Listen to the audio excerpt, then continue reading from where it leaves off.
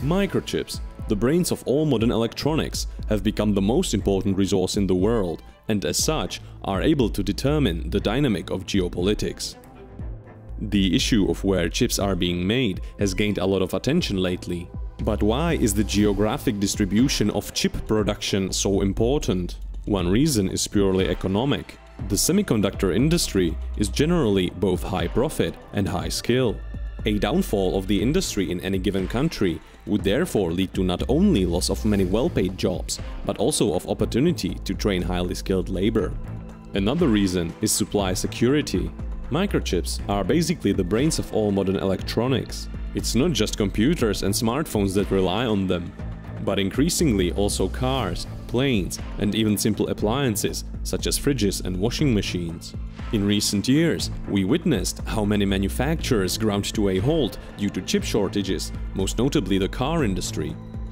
Cutting-edge chips are also a necessity for AI development. And lastly, they are a crucial component of modern weapon systems. Computing power will be one of the determinants of military outcomes. Having at least some domestic supply is a good insurance against both intentional and unintentional interruption of supply from abroad. In this video, we will look at the chip production chain, where the big players stand and what are the geopolitical implications. In the second video, we will examine specific legislative and legal battles. Amidst the headlines about US offshoring manufacturing, China's technology theft and Chinese government heavily subsidizing its tech industry, one might get the feeling that the West is losing the chip war.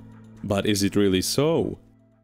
In order to grasp the geopolitical implications of the semiconductor industry, it is necessary to first understand the production chain. The manufacturing itself gets the most attention. It is highly concentrated, mainly because it is the most capital-intensive part of the chain. A new modern fab, as chip fabrication plants are called, can cost upwards of $20 billion, an investment that only several giant companies can afford to make. There are also significant economies of scale, so a small competitor would not be able to produce profitably. We can divide chips into two main categories, memory chips and logic chips.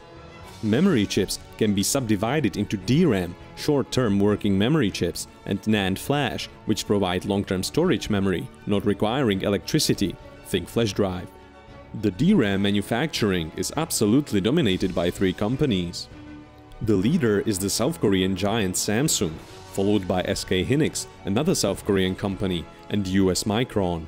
Together, they have around 95% market share in DRAM chips. By comparison, the largest Chinese DRAM producer, CXMT, has less than 1% market share. The NAND flash market is slightly less concentrated.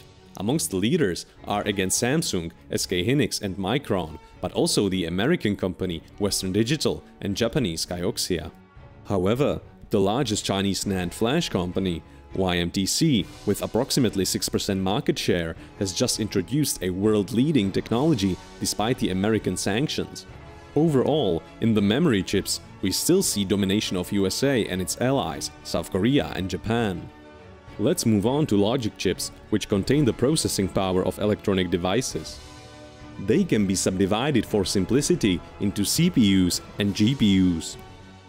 CPUs represent the basic processing power of devices, whereas GPUs are superior for graphics rendering and machine learning. Both types are manufactured by the same companies. Taiwan's TSMC, the South Korean Samsung again, and the famous American Intel. They have both the most advanced technology and largest production capacity. But the largest Chinese logic chip producer, SMIC or SMIC, has significantly ramped up its capacity and made surprising technological advancements despite the sanctions. The production of chips is a multi-step process and the giant fabs need a variety of high-tech machinery for it. They buy this equipment from companies specialized in chip-making tools. The arguably most sophisticated part of the process is photolithography, basically printing of transistors by light. The most advanced lithography tools use extreme ultraviolet light, or EUV. Herein lies another choke point. Only one company in the world is capable of making EUV lithography equipment, the Dutch company ASML. The EUV machine is a miracle of modern science and engineering, which costs $150 million apiece. It is made of more than half a million parts. The company is based in Netherlands, a US ally. Moreover, it has fabs in America. Only TSMC, Samsung and Intel own the EUV machines. Without EUV, it shouldn't be possible to make the most cutting-edge chips. The older generation of chips require deep ultraviolet light or DUV. But even the DUV machines are produced mainly by US and Japanese companies apart from ASML. But lithography is only one of many processes needed to produce chips. There are dozens of high-tech machines and they are mostly produced by American and Japanese firms. The leaders are Applied Materials and Tokyo Electron. The Chinese manufacturers are still largely dependent on equipment from its rivals. I have to ask you for a favor. I put a lot of effort into these videos. If you feel that I deserve it, please consider subscribing to this channel and hit the like button. When it comes to material, China is by far the largest producer of raw silicon, the dominant semiconductor material. However, to produce chips, you need ultra-pure silicon wafers. Market for the wafers is dominated by two Japanese companies, Shin-Etsu and Sumco, who provide more than half of the global supply. Chinese domestic wafer production cannot cover even the domestic demand, meaning they still rely on these foreign suppliers. Nevertheless, China is ramping up the wafer production capacity quickly, as with all other parts of the chain. Before they can start, the manufacturers first need a chip design, in the same way as a construction firm needs a blueprint before it can start the construction. Morris Chang, the founder of TSMC, brought about a so-called fabless revolution. Chip design and manufacturing used to be done by the same company, but Chang built TSMC on a so-called foundry model. A foundry is a manufacturer that doesn't design the chips it produces, but instead offers its production capacity to fabless companies that design their own chips and outsource the manufacturing to the foundries. The success of TSMC led many companies to copy this model.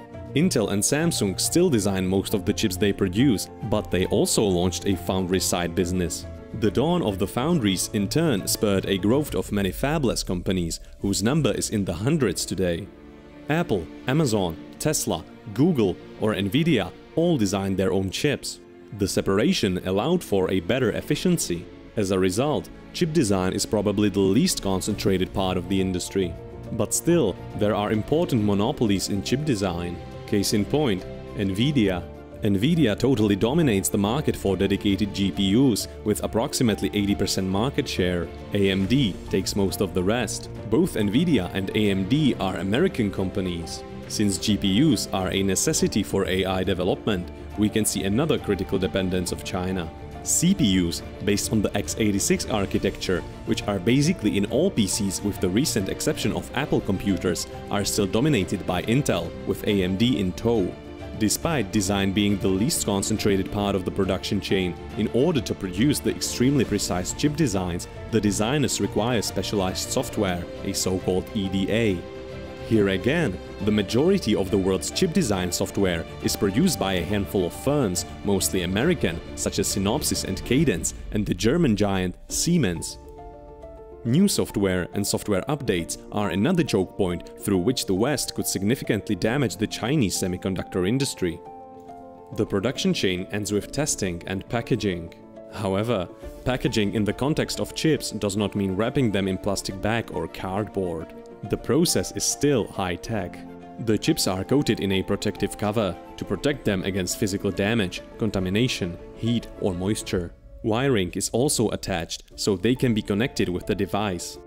These last stages of the production chain are either done by the manufacturers themselves or by specialized semiconductor packaging companies.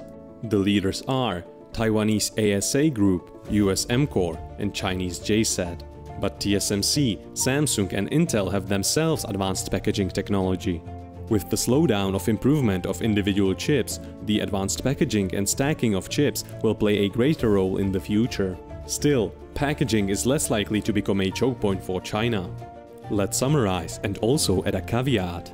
Chinese chip designers are still dependent on foreign design software. Chinese tech companies still require chip designed by foreign designers, often American, such as Nvidia. Chinese equipment companies do not produce the cutting-edge tools, so Chinese manufacturers still often use equipment from abroad. And despite being the number one global producer of raw silicon, China has to import pure silicon wafers, mostly from Japan. Before the recent bans, China spent more money importing semiconductors than importing oil.